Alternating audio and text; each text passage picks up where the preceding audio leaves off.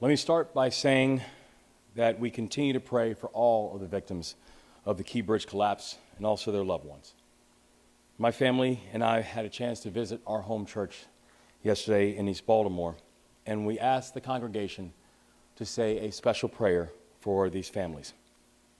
So I want them to know that our prayers and support will never stop. Nuestros oraciones y nuestro apoyo para ustedes no se detendrán. And for everyone who can hear my voice, these families are asking for privacy, and we need to honor that request. I've been disturbed by stories from our colleagues in county government that members of the media have been harassing these families. Baltimore County and Anne Arundel County have sent police to their homes to make sure these families are okay. These families are living a nightmare, and they deserve the time and the space to heal. So I'm asking, let us show our humanity in this moment as well. I also want to continue to thank our first responders and emergency personnel. Let us not forget that we are coming out of a holiday weekend, but for the men and women of this operation, the work did not stop. The work did not stop surveying the area. The work did not stop on environmental monitoring. The work did not stop in developing better images of the wreckage so we can move forward in a safe and efficient way. And this morning, the team was back out there in the rain, in the wind, keeping up the work. So it's hard to overstate how dedicated and remarkable this team really is. From unified command to the leaders at local and state and our federal levels and our federal delegation, to our partners in the private sector, to our partners in the philanthropic sector, to each and every one of you, I say thank you.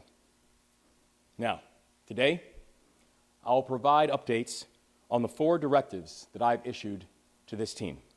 And as a reminder, the first, we need to recover the four remaining victims and give closure to these families. The second, we need to clear the channel and open the vessel to traffic for the port. The third, we need to take care of all of our people who have been affected by this crisis. And the fourth, we need to and we will rebuild the Key Bridge. And we will make sure that the new bridge honors the spirit of the city of Baltimore. This morning, I received a briefing from Unified Command. Now, I've spoken with leaders from all across every level in response to this effort all throughout the day. And so, first, on our recovery efforts, we need to do more work clearing the channel in order to move forward. Now, I know there's an urgency to move fast, and nobody feels that urgency more than the people standing up here today. But we have to be clear on the risks.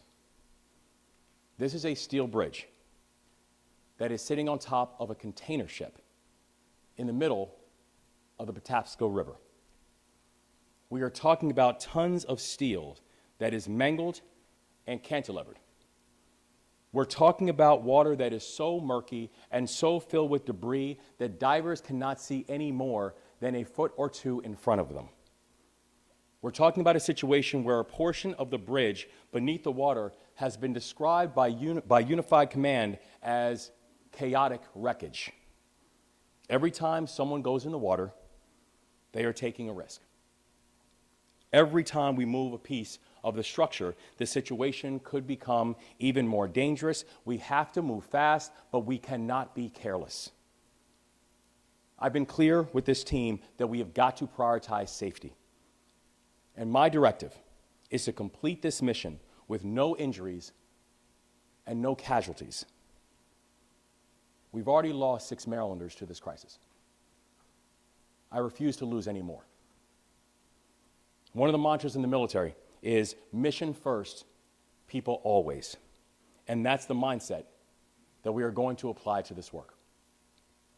Now, on clearing the federal channel and reopening the vessel traffic to the port, Unified Command has moved forward with their first crane operation.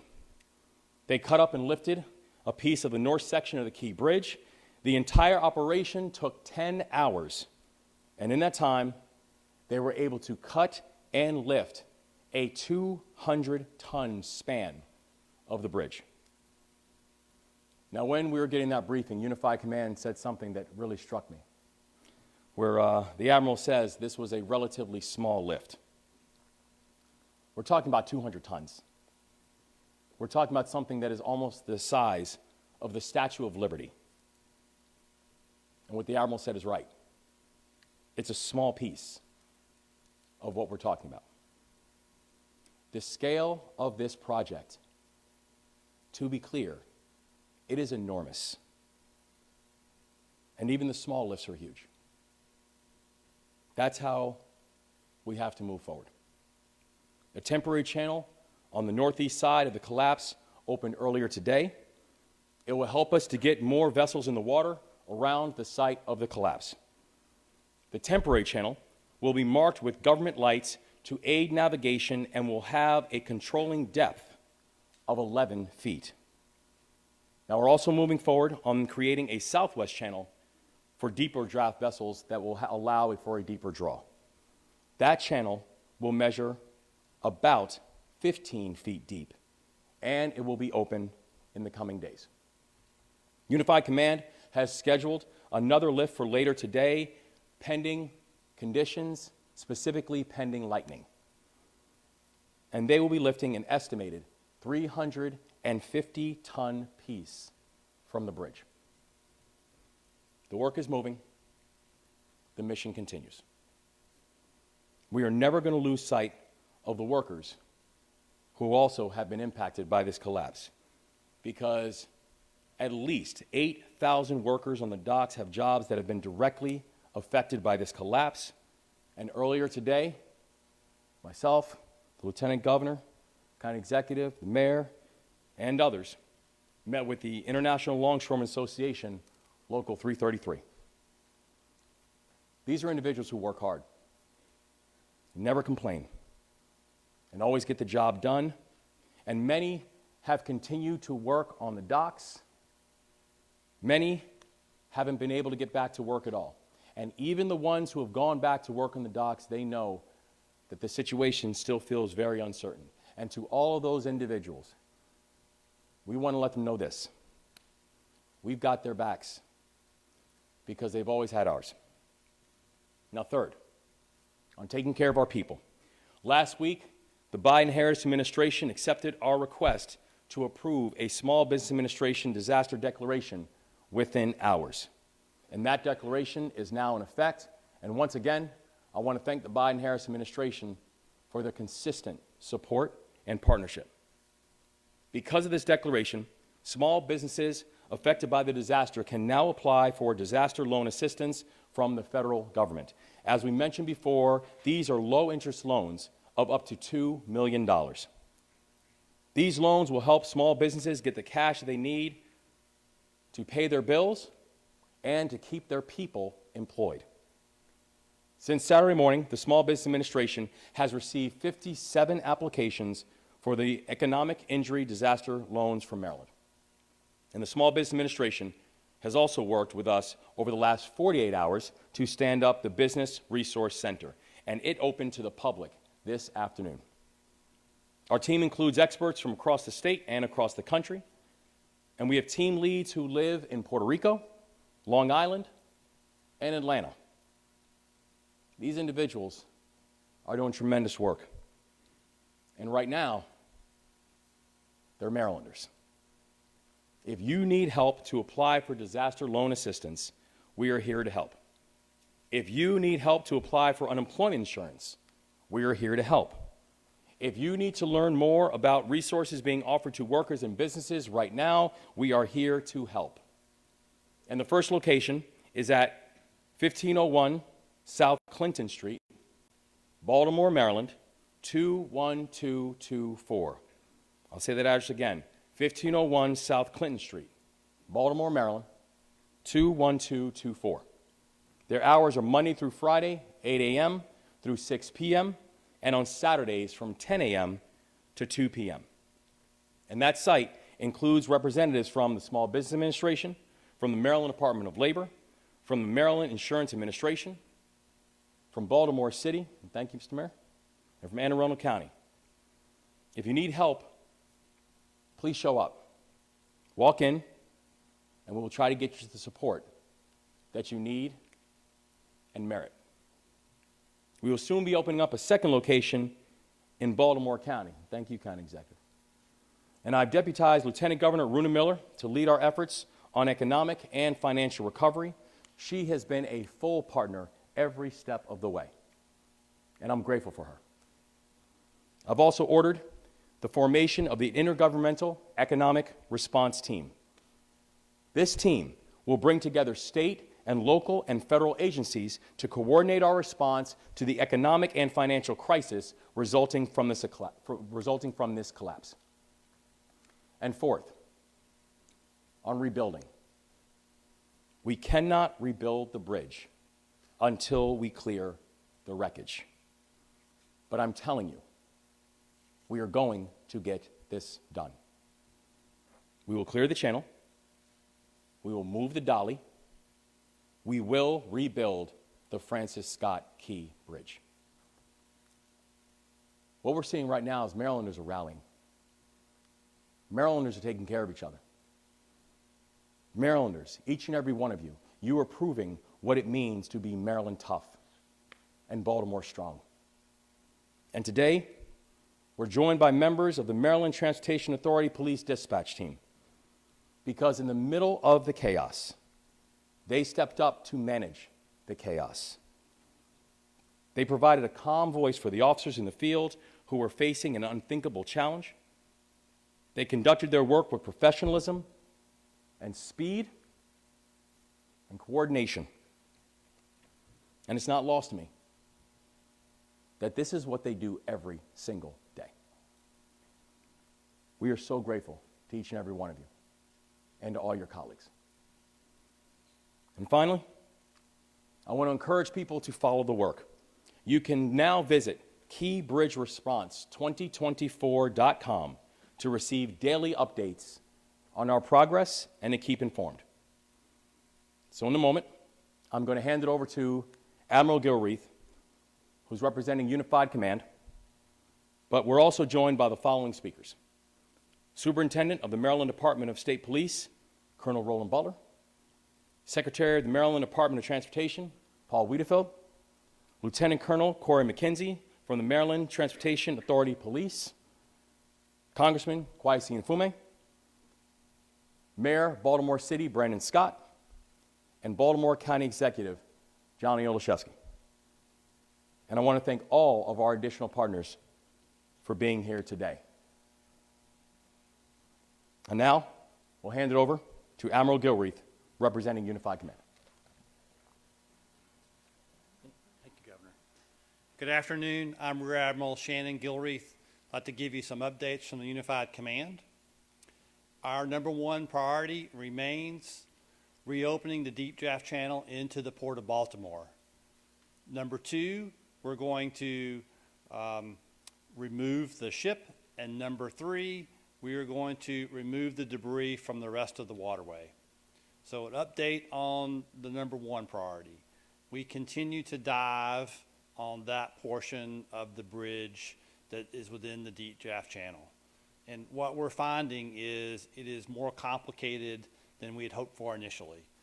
As the governor described, and as you heard the state police describe earlier last week, uh, the conditions on the diving, it is very complicated down below. These are still girders, unlike the still girders that you can see that are above the waterline still, which have significant damage.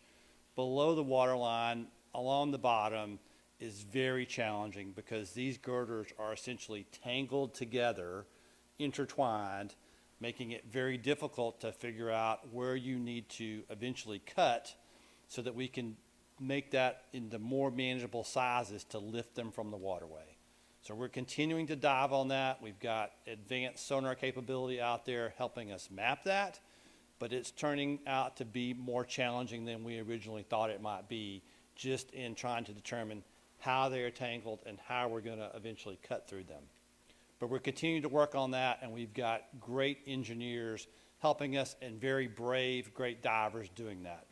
But as we've said from the beginning, we have to do this safely. And you heard the governor say that as well today. We have to do this safely. We do not want to injure a single other person in this. And so we're going to move as rapidly as possible, but we're going to continue to do it safely so that we don't take any unnecessary risk there with someone's life or getting them injured. So I really want to thank the divers, and I really particularly want to thank today the Army Corps of Engineers and the U.S. Navy Supervisor Salvage, who are over here to my right, for their work and the work of their contractors that are doing that diving and mapping of that bottom floor there. On the, we're making progress still on removing the ship, and so we've got more cranes coming to help us with that going forward. We're continuing to dive on the ship as well to come up with the exact right plans on how we're ultimately going to remove that. Now, we've made some real progress on the third thing I talked about, and that is removing the debris from the rest of the waterway. And so along those lines, the governor mentioned we conducted our first lift on Saturday of about 200 tons of steel, which was a tremendous uh, mark of accomplishment, but there's more to follow. And we're working on a 350 ton lift today. And once that is cut and lifted and put onto the barge, we're going to bring those initial pieces of the bridge back here to Sparrows Point and offload them. And that will happen later this week. We also have been working on developing alternate channels to get traffic in and out of the Port of Baltimore.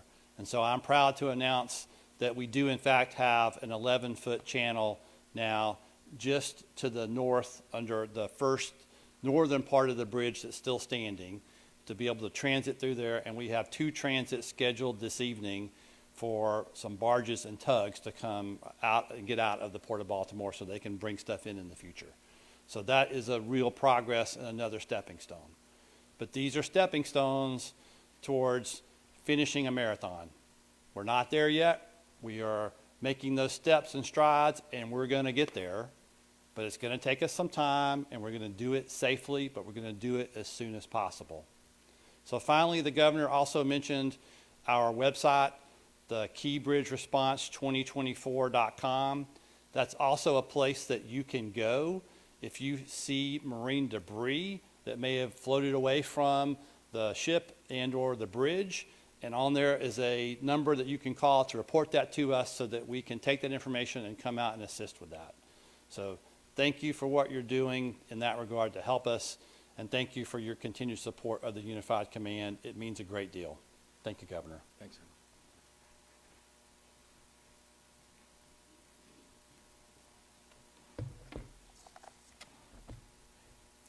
Good afternoon. I'm Colonel Butler of the Maryland State Police.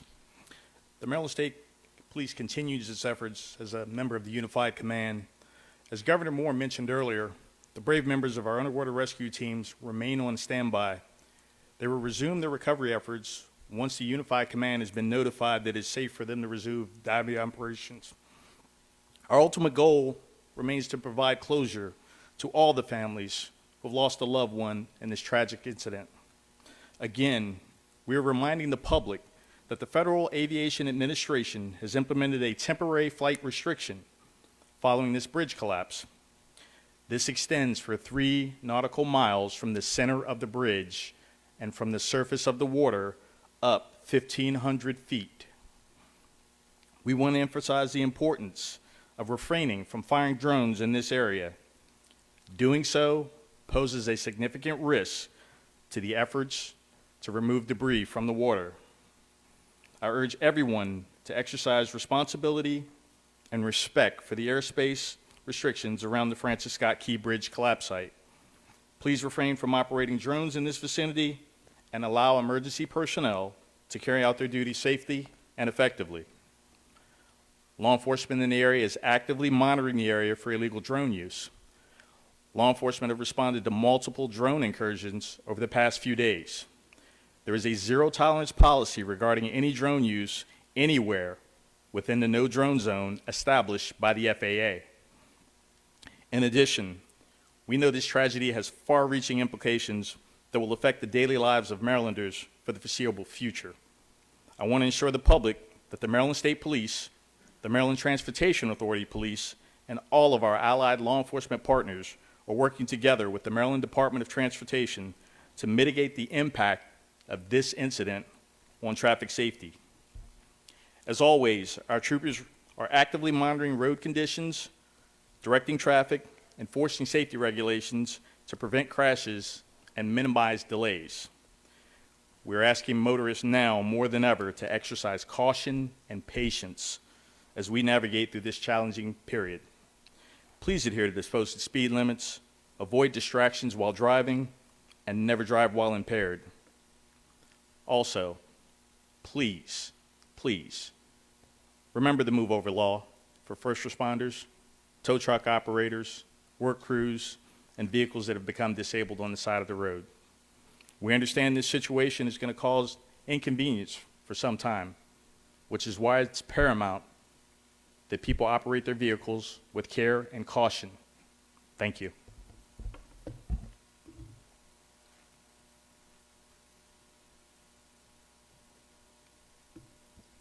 Good afternoon. Uh, Paul Wiedefeld, Secretary of Maryland Department of Transportation. I want to echo Governor Moore's extreme thanks and appreciation for our first responders, including the Maryland Transportation Authority police officers who were first on the scene.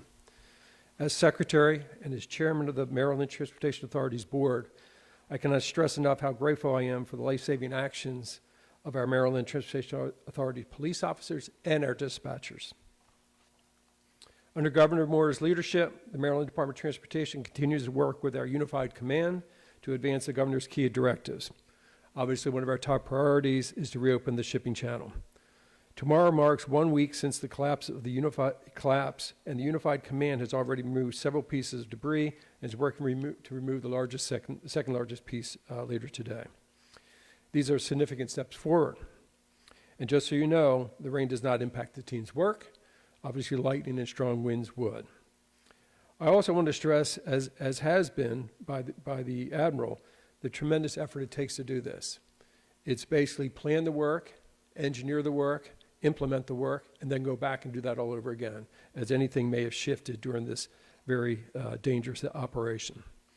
Turning to the Port of Baltimore and its operations, it continues to be open and uh, obviously in much limited fashion, but is open. We are assessing opportunities at the Port of Baltimore, the portions that we control, to improve maintenance and, and, and, basically take advantage of the reduced work there to deliver maintenance projects that we had planned. Returning, uh, regarding returning cruises, which left Baltimore before the tragedy, yesterday was the first of two diverted ships arrived, that arrived in Norfolk, Virginia, and offloaded passengers. About 60 buses transported approximately 2,500 Carnival Cruise passengers back to the Maryland Cruise Terminal, where some left their vehicles. Everything went, ran very smoothly, thankfully. The same thing will happen with the 2,500 Royal Caribbean passengers who are scheduled to return from Norfolk Thursday. Turning to traffic coordination, another primary focus of the department. Tomorrow, we expect heavy traffic in the Baltimore region during the morning and evening rush hours as students head back to class and commuters return to their routines. Wet weather is also expected through Wednesday, which will impact commuting times. I strongly recommend everyone to prepare for extra travel time. The, department continues to evaluate shifting travel patterns so that we can make necessary adjustments as well. For example, the State Highway Administration has adjusted traffic signals on Maryland 2 Ritchie Highway and Maryland 157, the uh, Peninsula Expressway, to help alleviate traffic congestion, particularly local traffic congestion. Trucks carrying hazmat materials cannot, can no longer travel through the tunnels and must use I-695 West. So again, we're monitoring that as uh, closely, very closely as well. And it's also important as, to keep in mind we have a tremendous transit system in the Baltimore region.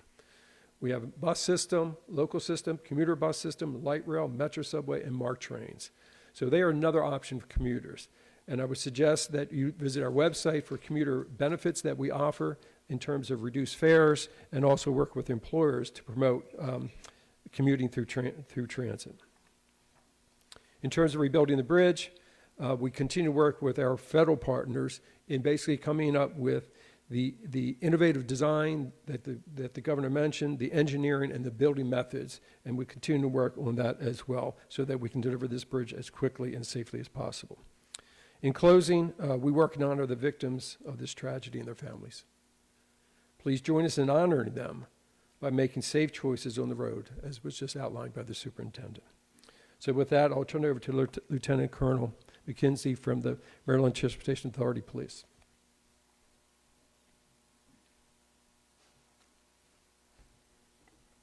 Thank you, Secretary Wiedefeld. Good afternoon. I'm uh, Lieutenant Colonel Corey McKenzie with the Maryland Transportation Authority Police, also known as the MDTA Police. I want to start by thanking Governor Moore, sir, uh, for your support and highlighting the efforts of the MDTA Police Dispatch Team. They are our heroes behind the headset. Excellent work. As we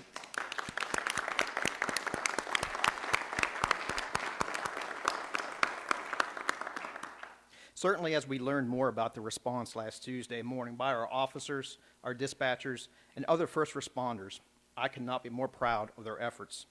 From MDTA police officers to include Corporal Herbert, Sergeant Pastoric, and Officer Kurtz, immediately stopping traffic on the Key Bridge, they saved so many lives.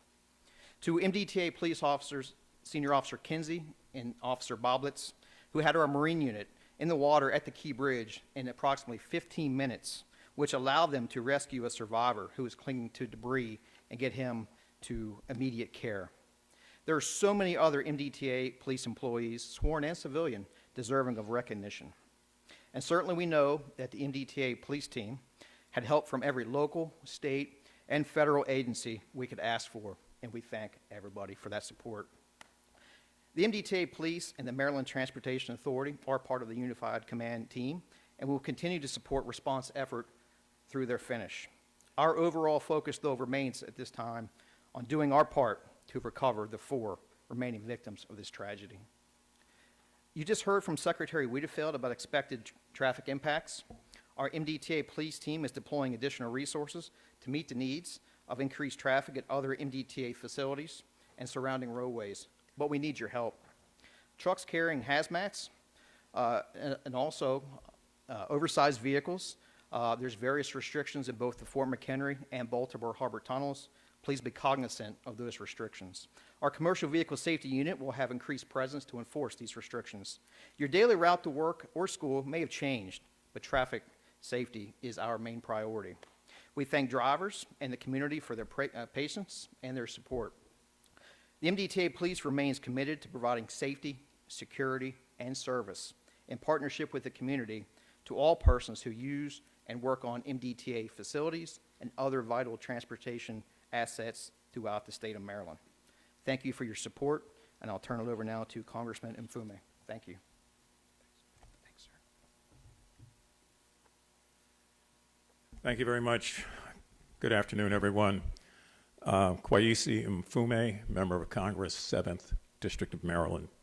I want to just take the few moments I have to do as I've been trying to do each and every time I've addressed you, and that is to point out the Maryland example, the example of leadership in crises, the example that has come together from different aspects of our state and has all taken place under the leadership of Governor Wes Moore, whose heart has been bleeding since this has happened, as has been the case with his partners Mayor Brandon Scott of Baltimore City, Johnny Olszewski of Baltimore County. And let me just say also on behalf of Senator Van Hollen and Senator Cardin, both of whom could not be here today because of official duties, Team Maryland will remain in place, Democrat and Republican. We are a united delegation to make sure that we're able to move forward. Just a couple of quick things. I'd be remiss if I did not reference two groups that are not here. The first group is the family of the victims that have been recovered and those who have not been recovered. Each time we talk to you, we continue to lift them in prayer because it could have been any one of us, quite frankly. And my hats are off to Gustavo Torres and the people of Casa, Maryland, who have embraced that family of men, husbands, fathers to make sure that their families are able to find some healing in all of this. The other group is the group of the hundreds of men that many of us just left down at the docks, the longshoremen of Local 333 and 953 and the other locals under the leadership of Scott Cowan, who have gathered together, recognizing that they are going to be affected in a way that they never thought and that their jobs are at risk, but who are so committed to doing everything they can on their end to make sure that we get through this together. They, like myself, many of them remember this bridge before it became a bridge, when for five years, having grown up not far from here, I watched that construction and watched that opening. And so all of our hearts break at what's left out there. But the governor is right, and I hope that he will always be deliberately redundant as he have been about the fact that that bridge will be re-erected again and that this port will be open for business again. Now, just a couple of quick things on the federal response, and I'll move away.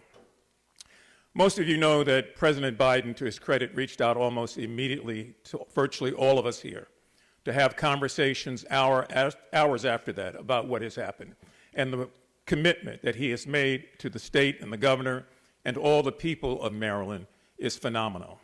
It has reached some criticism by some, but we know that petty minds have petty thoughts.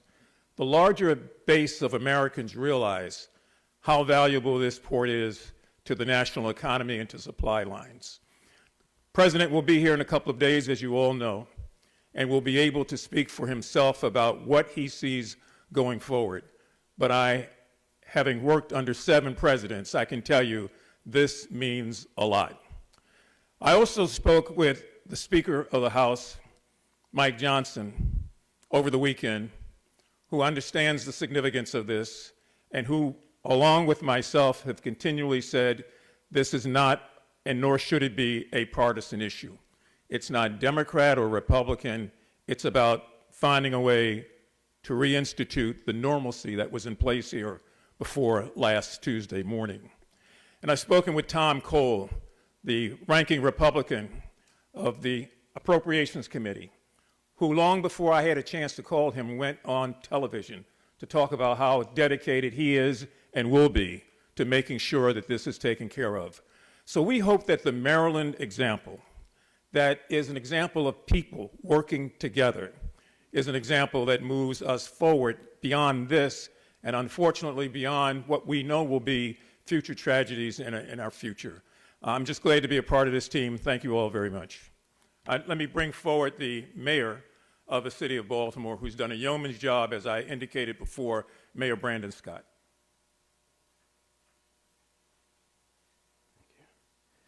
Uh, good afternoon, everyone.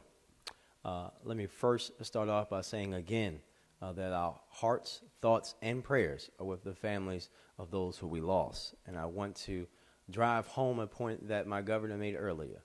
Please uh, give these families the space and time and everything they need to heal.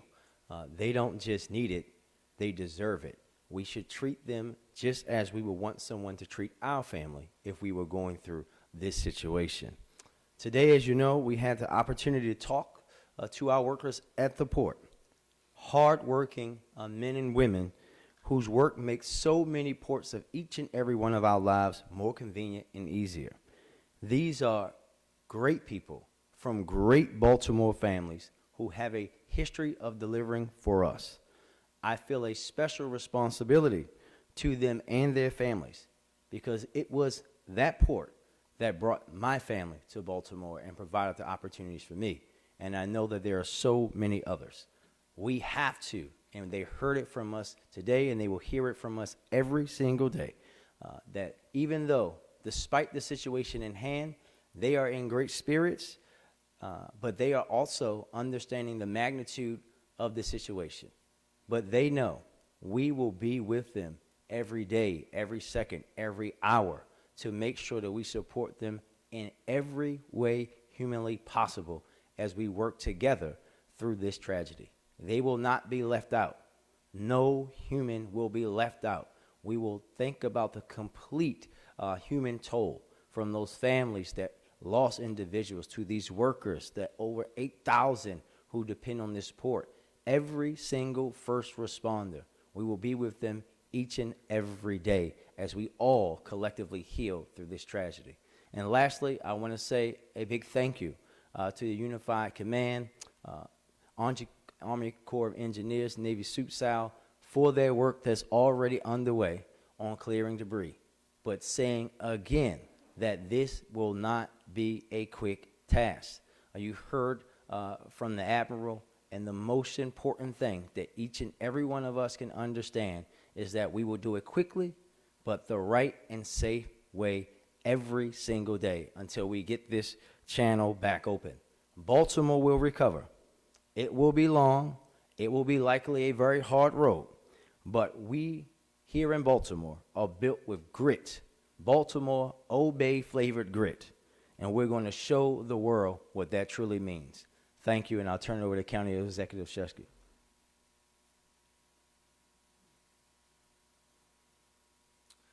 Thank you, Mayor, and good afternoon, all. Baltimore County Executive Johnny Olszewski. Some Easter reflections. Um, like the governor and like the mayor, uh, had the opportunity to worship with my family in the home church this weekend. And two things struck me. First was the families who weren't able to worship together as a result of this tragedy. So I ask that you continue your prayers for them and heed the call of both the governor and Mayor Scott that we give those families the space to heal, to grieve, to gather. Second is that as we were worshiping, as the governor indicated, the heroes, our first responders, unified command, were and still are working around the clock for our benefit. So we thank them for their incredible service. We had the chance to meet with our port workers today, and in a reminder of just how interconnected we are, uh, just of the many conversations we had, one was with a former high school classmate, one was with a cousin.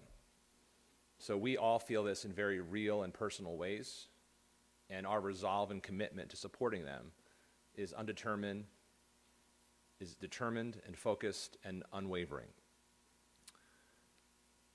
Closer to home, in Baltimore County, as the governor said, we have soft opened our Dundalk location. We thank the Small Business Administration for providing resources to the Dundalk location, as well as unemployment support. We will make sure that this facility remains open as long as is needed for our families.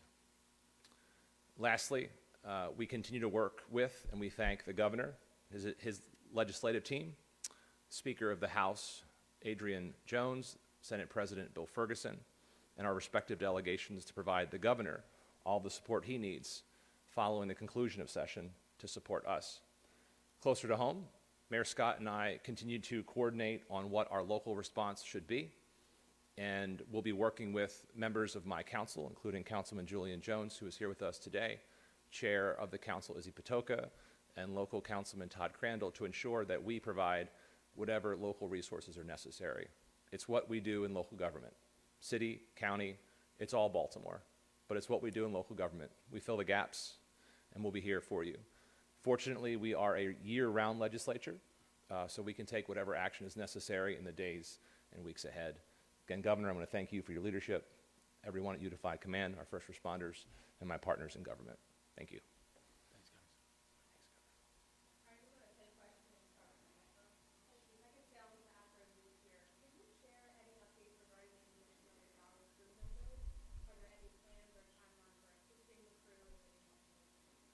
Yes, uh, thank you. So uh, the, the team, uh, both from Unified Command uh, and also NTSB, has, uh, has been in close communication with the, with the team from the Dali. Uh, fortunately, the part of the ship that was most deeply impacted by the, by the wreckage is not the part of the ship where either their living quarters or, the, or the, the, the, the kitchen and the cooking conditions are in, nor the fuel. So they're still able to move and maneuver in that area. Uh, the team has been in, uh, in, in, close touch and contact with them, uh, and so and, and will continue to be so going forward.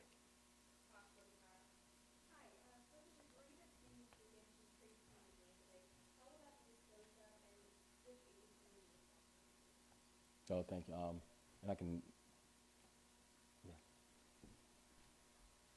Thanks. I think those plans are still under development. They're still identifying those resources. But generally, when the debris is taken to the laydown yard at Trade, Tradepoint Atlantic at Sparrows Point, uh, it'll be it'll be inspected and secured until they find a final disposition for disposal in a safe manner.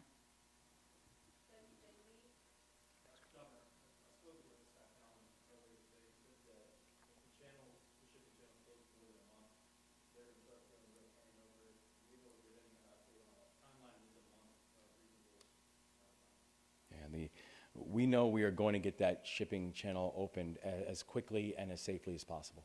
Uh, It is, it is one of the core priorities that we have, of being able to open up the channel, get commercial commerce going. Uh, And even I think as uh, as Admiral Gilreath mentioned earlier, you know, today was an important milestone in the process of beginning to pull the wreckage out, beginning to open up channels. Uh, We know we still have more work to do. We know we still have more work to do to get the channels open, particularly the channels that can take, uh, that will take the larger ships and, and require the deeper draw. Uh, but we are going to move as quickly and as safely as, uh, as, uh, as the conditions continue to operate. Governor, what does it look like now that you've had a chance to sort of assess the ship situation, getting it out of there? Uh, what's the process there, um, in, in moving it out of the channel? And, and how much work is that gonna take, given what's on the ship and the, the wreckage that's inside? It's a tremendous amount of work. Uh, This is a remarkably complicated operation because of all the facets and the assets that have to be involved in it. Uh, You know, we currently have, we currently have 50 assets that are in the water. We currently have over 370 individuals that are working on the project. But we know that in order to be able to move the Dali, uh, we have to be able to open up the channel, begin the process of removing the, the, the wreckage and the debris, and to remove the Dali, it must also mean we've got to get the key bridge off of the Dali. And we're talking three to 4,000 tons of, of, of, of steel, metal that's sitting on top of the ship. So this is a, it's a remarkably complicated operation. Uh, it's, it's the reason that we are so unbelievably grateful to this outstanding team and all these leaders that are here and the people who are putting this work in 24/7 because this is a 24/7 operation. Uh, but we are going to get the Dali out, but we cannot, you cannot overstate the complexity of this operation. Can the ship move, is there power to the ship? How's that gonna work? There's still currently, there's still currently power to the ship, but, uh, but power to the ship is, is just one variable when it comes to movement of it. If you look at the ability to move the Dali out, uh, there are still more unknowns than knowns. And there's still a tremendous amount of variables as we're continuing to move the individual debris out that can even just clear the channel and clear the pathway. So, so there are, there are still things that we just do not yet know about how that's going to translate into timeline.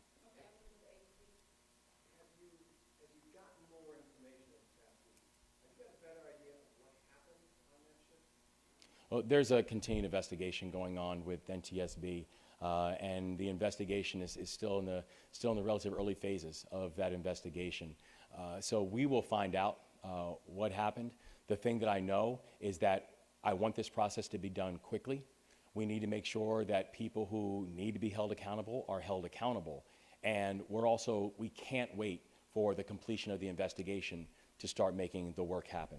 We've got to prioritize the four, uh, the four lanes that we laid out before, getting a sense of closure and comfort for these families, making sure that we are opening up these channels, making sure that we're taking care of our people, and beginning the process of, of rebuilding the Francis Scott Key Bridge.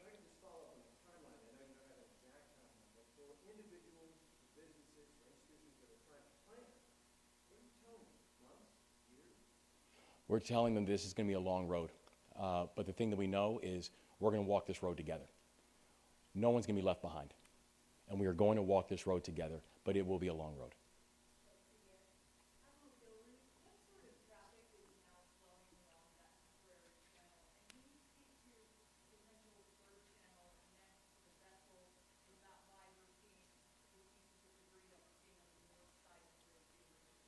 So we've been working on three alternate channels. The channel that we're opening today is on the northbound side of the bridge, and it is still under a section of the bridge that is still standing. That one will have a controlling depth of 11 feet. So that will be for more shallow draft vessels. The tug and barges that I mentioned today that are going to transit through there are commercial, but it can also be used by some of the, the boats that we need to move back and forth to get equipment positioned on both sides of the bridge to continue to do surveys and eventually do lifts. The second alternate channel we are working on is on the southbound side of the bridge, under the portion that is still standing. And that particular channel, we think will be around 15 to 16 feet in depth, which will allow us to move slightly larger vessels and barges through there. We are working with the State of Maryland Department of Transportation and their contractors. There's a pre-existing, not part of this accident, uh, pilings that are in that because we didn't need that for our channel previously. They are working to pull those pilings out. We'll complete that survey and we will remark that one also with Coast Guard buoys so that mariners can safely transit through that. The third alternate channel we're working on is just north of the deep draft shipping channel.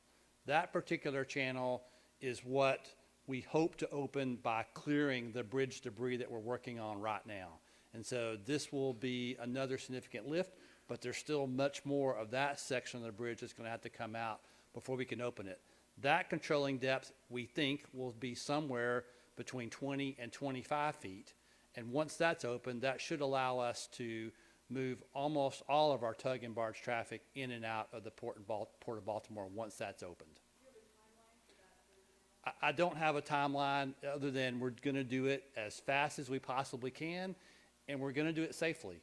These girders that we're cutting in that section are three foot girders.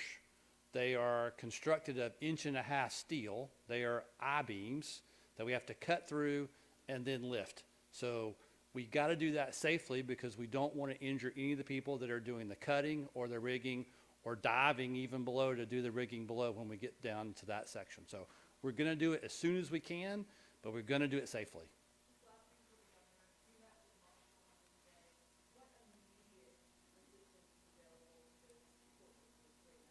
No, we're working in, in coordination with both members of the General Assembly, with our local elected officials, as well as our, our fantastic federal delegation, uh, and letting them know that, that the, the reality of some of them having not just been at work, but working around the clock, and many of them not having work at all. Uh, we're, we're, we're talking about and looking at a, you know, a, a number now upwards of 1,800 individuals who just haven't worked, right? So there's a, there's a significant urgency that we all feel, that we're all going to move on this, and that we're all going to work in partnership to be able to address.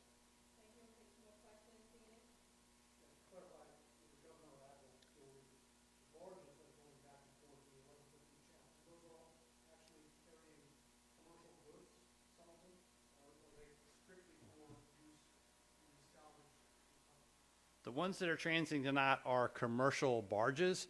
I'm not sure whether they have goods on them or not, or they're going to transit somewhere else and then load goods. But they are, they are commercial uh, barges and tugs. They are not part of the response. They were traffic that was trapped inside the port of Baltimore after the bridge collapsed.